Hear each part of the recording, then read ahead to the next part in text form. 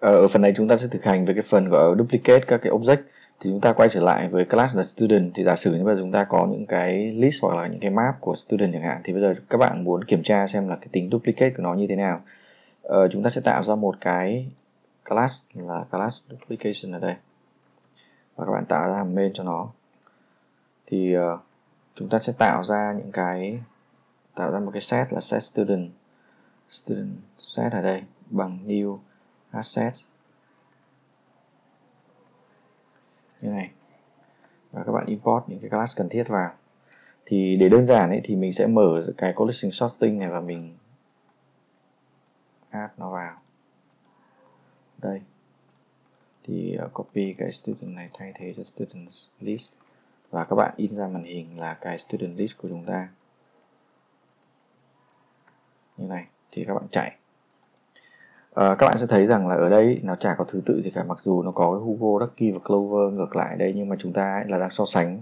À, đang so sánh ở trong này là student compare to là nó so sánh theo grade thì nó chả thể đi theo cái kiểu so sánh của chúng ta nên là 7, 6 và 8 thì các bạn nhớ một điểm đấy là khi mà chúng ta sử dụng cái ờ, hset này này thì nó không có order và các bạn muốn sử dụng sắp xếp order thì các bạn dùng set thì các bạn à, thực hành cái phần đấy riêng.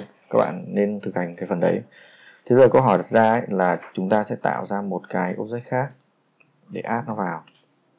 Ở đây là mình sẽ đặt là clover 9 hay clover 8 cứ để clover 8 trước và chúng ta chạy. À, chúng ta in ra màn hình một lần nữa cái set của chúng ta thì các bạn chạy. Và các bạn sẽ thấy rằng là lúc này là mặc dù là Clover và 8 là hai object student nó có value giống hệt nhau nhưng mà nó vẫn add thêm một phần tử vào trong cái set của chúng ta. Thì trên này là có Clover 8 dưới này là có hai lần Clover 8 ở đây thì để mà phát hiện ra được cái duplicate của nó thì các bạn sẽ cần phải làm cái gì?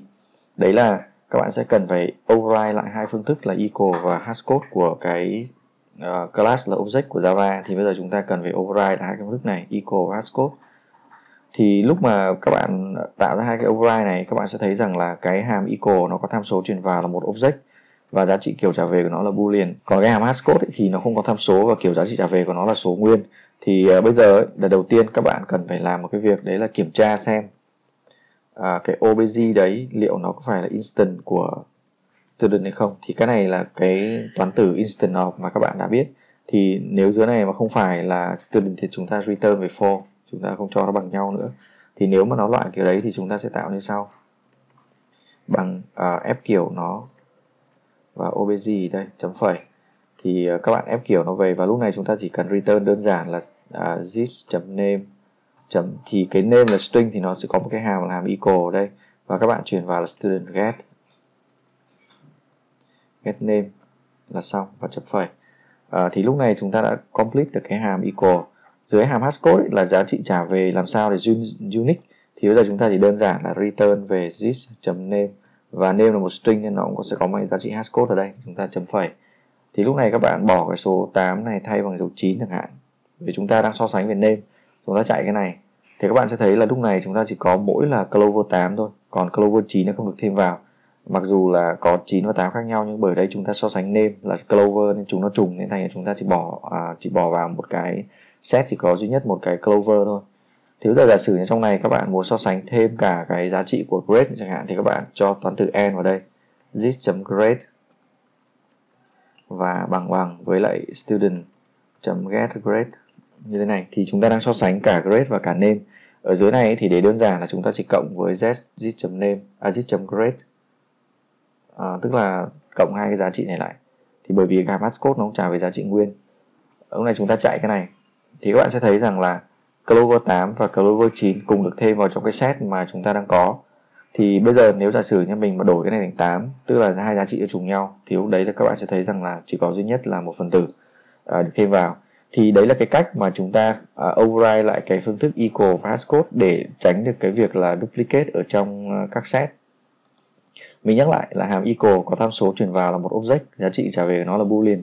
Thì trong cái hàm này các bạn sẽ phải kiểm tra instant của nó là loại class gì. Nếu không phải class đấy thì chúng ta return for. Và cái biến của cái uh, kết quả của hàm hashcode thì có hai nguyên tắc. Nguyên tắc đầu tiên ấy, đấy là trong hàm equal các bạn dùng tham số nào để so sánh ấy. ví dụ như đây là có name và có grade thì các bạn cần phải có hàm hashcode được tính từ những cái giá trị của name và grade. Còn nếu giả sử như mỗi name không thì các bạn chỉ cần dùng mỗi name thôi. Và nguyên tắc thứ hai là cái hàm hashcode phải tạo ra cái unique value. Càng unique càng tốt thì cái cách mà để tạo ra hashcode unique thì có rất nhiều cách. Cái phần mà hướng dẫn tạo ra cái giá trị unique của hashcode thì nó một phần riêng thì chúng ta sẽ tìm hiểu sau ở bên này thì các bạn à, thấy rằng là chúng ta đang process ở đây thì bây giờ các bạn có thể tạo ra một cái map với cái key là student và cái value của nó là một giá trị gì đấy thì các bạn thực hành xem là nó có bị trùng lặp hay không.